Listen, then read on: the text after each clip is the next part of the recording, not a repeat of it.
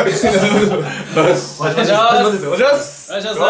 今回はですね、今もう真っ最中選抜高校野球のね。1回戦が、はい。まあまだあの終わってはないんですけれども、うん。まあほぼほぼ1回戦家庭終了したということで、星稜のピッチャーいいなやっやぱばいっすね。めちゃくちゃいいやっっすぱいいですよなね打てないんじゃないですかね高校生じゃなかななかかなかな。レベルが違いますねちょっと。おは前も見てわかんの？わかりますよだって。だってあのもう履正社のバッターストライクゾーンのボールなのに避けてましたよ。こうやって全部。スライダーとか。まあな。はいキレが良すぎるんですか。キレもいいし速いしな。そうやっですね。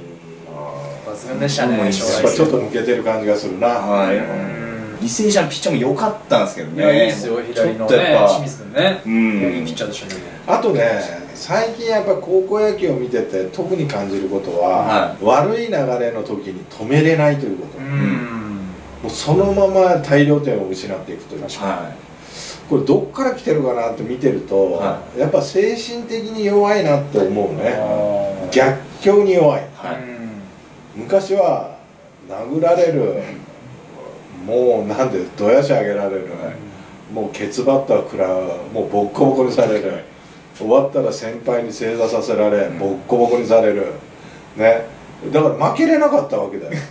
でエラーもできなかったわけだ。そのまあプレッシャーというか。がだからもうその逆境に立った時こそは必死なわけよ、うん。ああなるほどなるほど。いやこれ負けたらまた帰ったらボッコボコにされると。か 命が命がけですもんね。命がけなんだよ。常に常に言えばね。だからそういうことがあるから昔の野球が良かった。それだからいいっていうんじゃなくて、は昔の人の方がやっぱ技術は低かったかもわからないけど、精神的にはやっぱ強かったんだなと思うよね根性論ですもん根ね性心の部分ですね。心の部分。心の部分がちょっと弱いなと思う。で逆になったんですかねもう今。逆というかこのパワーバランス。まあだからあれでしょ技術が。技術がこういった分この。まあそうだね。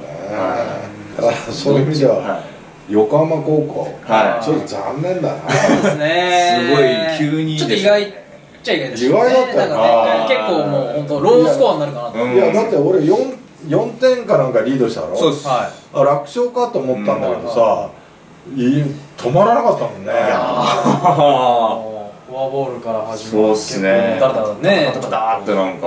まあ4番高いピッチャー及川君だったんでね。まあいいピッチャーだよね。いいピッチャーですよね。と言われてましたから将来性もあるし。はでもダラダラしちゃいからな。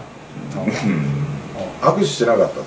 いなんか結構なんかね。ちょっと問題になってましたけどね。うんネットニュースとか。まあただ、はい。じゃあ敵同士で戦ったものが負けて握手しなきゃいけないのかっていう話だよね。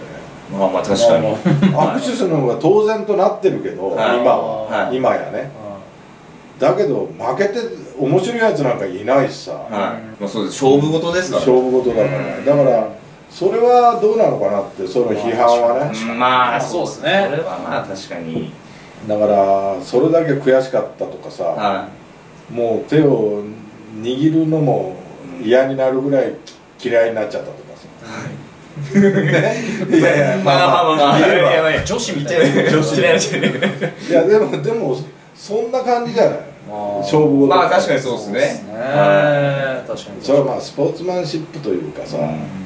まあ、戦い終わればはい。友であるというね、はい。まあ、そういうことを考えると反してるけど、うん。まあそうだなまあまだ監督だな。監督監督。で監督があんな態度でさ宿舎帰ってボッコボコに昔だったらされたけど 今じゃお疲れさんとか言っちゃってるでしょ、まあまあ、それでやっぱ鍛えられないななんかな。あ。2回戦もちょっとね楽しみなカードがどん2そうだね。回戦からまあどんどんまた広陵も勝ったしね。広陵も勝ちピ勝ちましたねッチャーは春の広陵は夏の広商ね。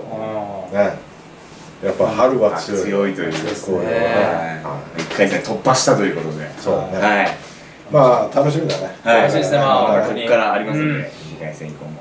はい。ぜひ皆さんはい。ここからもえー要注目ということで。はい。90の皆さん頑張ってください。はい。ください